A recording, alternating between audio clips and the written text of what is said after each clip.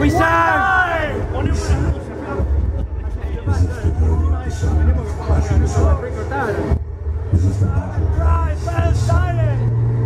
Because war got lost its meaning! Its fucking meaning!